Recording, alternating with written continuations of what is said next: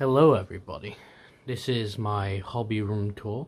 It's September 2020 and I'll be moving pretty soon, so I thought I might as well archive it. Starting from the side that is opposite from the door, looking at the side that is opposite the door should I say, is my computer setup as well as my Transformers display. You'll see on both sides of the computer there are two details that hold pretty much all of my Transformers. On top of the left side detail, I have Predaking, as well as Skylynx, as well as some of my favourite Generation 2 Bionicles, and my favourite uh, classic-esque sort of space set, the Benny Spaceship Spaceship Spaceship from the Lego movie. Below that, we have the Autobot Masterpiece display. Basically, these are all of my masterpieces, including the uh, Earthrise, what was it, Siege, should I say, uh, Jetfire, or, should, or Skyfire, it depends on who you ask. I prefer Jetfire, it's easier to say, but below that, we got the Decepticon masterpiece display. Uh, in there we have you can pretty much see we've got uh, Megatron, Shockwave, Soundwave, the first release of uh, Seeker's mold, and next to that we have the Make Toys Starscream, or the Make Toys Seeker mold, the earlier release of Make Toys Seeker molds, back before I had a few more problems. Below that, we have some of the earlier Masterpiece releases, as well as some of my favourite uh, Legend Select figures as well. So you can see we've got the Overlord from Legend Select, as well. In the very back, there is the God, Bomber, and Ginrai, with the upgrade sets on there. There's also a knockoff Masterpiece Bumblebee 1.0 in the bottom right as well as the leftover cab section from the Legend Select Optimus Prime. Ginrai, should I say. Next to that is the electric guitar. Now getting as low as possible, we have my selection of action figures. These are a mix of Star Wars Black Series as well as Marvel Legends and some larger game figures as well as the Mega Bloks uh, Spartan 2. And then next to that we got the Infinity Gauntlet as well as the Mark III helmet. Sorry, let's just say the Halo 3 uh, Master Chief helmet uh, from the Collector's Edition that I got on its own. I've hollowed out on the inside. That is the Mark 6 armor, to be precise. I'm moving back up to a more comfortable height. You can see I have my Generation 1 reissue Optimus Prime, which I've customized because I have a slightly better uh, knockoff recreation of the Generation 1 Optimus Prime with the box. So I decided to customize this one to make it look weathered and battle damaged. As you can see, I did a few different techniques on this one. Uh, mainly just a little bit of dry brushing and uh, a bit of an ink wash on top and a little bit of a cracked windscreen. Nothing too special, but just something to make it look a little bit different from the original. In front of that is the MacBook 2019 edition, um, which has the touch bar and everything mainly use that as a second screen as I don't have a secondary monitor. Um, it can come in helpful if I'm trying to do something on, say, Discord while I'm trying to do something else on my main screen. In front of that, we've got a Rode microphone uh, with uh, Amazon Basic arm to hold that up and some Turtle Beach headphones. And then we have the AK racing chair and in front of that my keyboard and screen. Now down here on the bottom left of the screen, next to the speaker, is a uh, test tube vial mixer, which I use for mixing my paints because I'm doing quite a bit of airbrushing, and it's always important to have your paints very well mixed. Same for brush painting, and this thing's very simple. You just take a paint bottle with an agitator, like a bead or a ball bearing in there, and then uh, you just press down, and it basically spins a little disc, which will, of course, mix up all the paint. Now on this side we have the Wacom Intuos touchpad, which I can use for digital drawing, the mouse pad and everything. I uh, tried cleaning this with some say paint remover fluids because I accidentally got a little bit of paint on here and uh, it was a little bit too strong for the plastic and it's left this big mark. Now before we get to the next detail, we have my actual computer itself. Uh, at the moment it's got a 1080, um, just regular 1080 uh, GPU. And uh, I'm looking forward to upgrading that pretty soon with the uh, either 3080 or 3070. Probably not going to get the 3090, but we'll see. And on top of the computer itself, got the uh, uh, Iron Banner Saladin Ghost, which lights up when you press on the eye. And then next to that is the landing craft, the Arcadia class uh, landing craft. Now on top of the right side detail, we have the Ninjago Airjitzu Temple set, which is one of my favourite LEGO sets of all time. We've got uh, Atheon, Lord of Skull Spiders, some of the masks from Generation 2 Bionicle, the Autobot badge which speaks when you press the button, as well as the Mega Bloks Mag Magitarp. Magitarp? Maggie. The fish that turns into the big fish. And now we get into the first of the model kits. In here are some of the best of the best, some of my favourite model kits of all time. We have the two of the best, in my opinion, Ver.Ka kits being the Zaza B Ver.Ka and the Nu Gundam Ver.Ka. In front of that we have the real grade Sazabi and real grade Nu and the high grade Sazabi and the high grade Nu also in there. And in front of all of that we have the G40 design. And then just in front of all of that are some GoBots.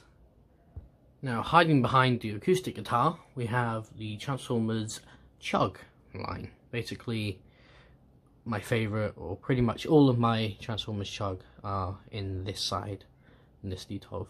You can pretty much see all the characters I've chosen to get. I do have the uh, two leader scale Optimus and Ultima Optimus with their smaller sized evolution figures separated from them. Having moved the acoustic guitar out of the way, you can now see that these are my movie figures. We have two of the earlier Masterpiece figures, as well as some IDW model kits and the one Starscream from Chug, which I've moved the stickers and painted it up to make it look a little bit more nice and cohesive. And in front of all of that, we have my, say, the smallest size figures, um, the Micro Masters, the Battle Masters, even the Prime Masters there, and the Headmasters, all in that section well, you could call those Prime Masters and Pretenders, but yeah, whatever your preference is. Now, below all of that, we have some of the LEGO Ideas Dash LEGO CUUSOO sets. Uh, and behind that, we have the two of uh, my favourite LEGO Star Wars buildable figures. Uh, the, say, the Hero Factory, the Super Articulated Joint style ones and there's also my custom Hulkbuster in the mix there with the um, Lego Ninjago newer Samurai X mech. I do have an even newer one from the Legacy sets, but it's a little bit small and that area is pretty crowded already. Um, it might change in the future. It's mostly mech focus now, but we'll see how it goes. Now before going to the opposite side of the room, this is my workspace area. So this is where I do all my painting, building, customizing, and uh, there's some newer things that I've done in here as well. Um, we'll take a closer look. Going from the right, got some of my uh, cotton swabs, uh, Citadel paint, water, brush cleaner. It's actually pretty helpful. Uh, I don't know if it's worth the price, but it, it helps get the bristles separated and everything. Have that with your brush soap of your choice and it works pretty well. Post-it notes, some Haros, some little Pokemon, some bear guys, uh, pencils and stuff, a mannequin with Dio's face on, the MP3 Sound Blaster, in-house Soundwave, but I'm kind of glad I got Sound Blaster because I had the Masterpiece Soundwave, but whatever. um, and next to that we have some uh, paint stands, some paint bottle stands I've made. Uh, this one on the right is say MDF, plywood, sorry, and the one next to that is MDF. In front of that we have some of those amazing cats, which really hard to get hold of now, but I was happy when I got these. I did do a little bit of paint work on them. Now, if we move these two Teletran ones here, you can see the other half of this table. Like I said before, this is the MDF paint stand holder, some Master Chief helmets from the 343 designs, one of them painted with a red stripe. My favourite Gundam in transformed mode is the uh, Zeta. I've done weathering and stuff on. Uh, funny story behind that, you'll see what I'm talking about in a minute. And then next to that, we have my current in-process work where I'm airbrushing a Legend Select uh, God Ginrai with the gold bomber stuff on and everything and I'm going to give that a nice metallic custom finish. Now under the table we've got my airbrush, extractor fan all folded up, the airbrush compressor and then we have a medium dash large size diorama of all of my Halo Mega Bloks Warhogs. There's one more on the way to add to that, but um, that's pretty much it. Below that got some tools and stuff and all the way in the right corner is MP36 Megatron's gun accessories which I can never find a place to put them.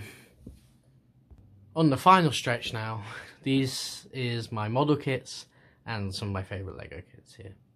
Uh, so we've got some of the larger master grades, some advanced Zeta on the left hand side, uh, we've got the Ex-S on the right hand side with the polyball, and some of the uh, little pilots that come with it I painted up. On the first shelf we have master grades. Pretty much uh, all of these are master grades apart from the high grade Atlas over there and the Haros. Uh, we have some perfect grades in the middle as well. So on the left hand side you see I have some more Zetas. That's the reason why the Zeta you just previously saw was in its uh, Wave Rider mode. Because I had to take parts of that to fix the grey Amuro Ray uh, Zeta that I got off Citrus. Uh, I was bought that when he was doing the fundraising for Mr. Scissors for his uh, operation for his teeth. Um, got that with a picture of Mr. Scissors and um, it nothing that was his fault. It was all completely sealed. Just when it came in and I put, tried to put it together, it was so old that the plastic just crumbled in my hands um, and I couldn't transform it. And it, I tried to recreate some of the parts out of resin, but because it was something that had to move a lot, uh, I wasn't able to fully recreate it. So I did end up buying another Zeta kit. Thankfully I had enough left over to make a Wave Rider mode and thankfully I love the Zeta design, so I didn't feel too bad about that. But I'm um, really happy with how that came out. Do have one more Zeta to get, which is the red like snake version from that one anniversary sort of animation. Once I get that, that'll be my Master Grade Zeta collection complete. Unless they release an extreme version of the Zeta or 3.0 but we'll just have to wait and see. Now in the middle, we have like two or three perfect grades. Third is the Ava Unit 1, which I've got set up in a single pose and I'm probably not going to move it. But these are the other two perfect grays I have, being the RX-78 and the Zaku 2 Char's custom version. In front of that, got the cage, and, well not cage, an MS base cage, whatever you want to call it. Um, and then a small diorama with the GM Sniper 1. Next to that, we have some, not advanced data, some Thunderbolt stuff. That's pretty much all of my Thunderbolt stuff all together. Uh, quite like that series. Wish there was more. Hopefully there will be more one day. Um, maybe some more variety of different kits. I want the Master Grade Atlas very badly, but bit the bullet and bought the high grade for now. Pretty happy with how it came out. Underneath the Thunderbolt stuff are all my landing crafts, high grade, 144 scale, real grade stuff, as well as the perfect grade and high grade landing crafts. Now on the shelf below that, we have some more master grades, my uh, Unicorn as well as Double O, and the Turn A in the very back, you might not be able to see that though. We have pretty much all of, well, half of my high grades, uh, with the Penelope and the Kshatriya repair type in the back there. And further over in the right, we have all of my real grades. Uh, there's mix of different series. We've got Double O, got UC, we've got Wing. Pretty much anything that catches my eye, I get. There's also Seed in the back there. You might be able to see it though. Now on the bottom shelf here, we have my Gundam Seed Master grades as well as the Destiny high grade, which is great. Uh, some of the Gundam heads, uh, mostly the Zakus. I did get them one of the RX-78 Origin version. Then further over to the right, got the rest of my high grades. Pretty much a mix of all series, mostly Universal Century though. And all the way in the right, got the huge 1 100 uh, Nightingale with my Iron-Blooded Orphans kits. Most of, well, got two 1 100 Iron-Blooded Orphans kits as well as three high grade Iron-Blooded Orphans kits, which are brilliant. Now you probably saw it when I was going through the Gundams, but here is the Saturn V as well as the uh, Moon Landing Craft kits. I'm gonna get the uh, USS space station to go with this. Don't quite have the space at the moment, but one day I will. Now above that, we have some posters.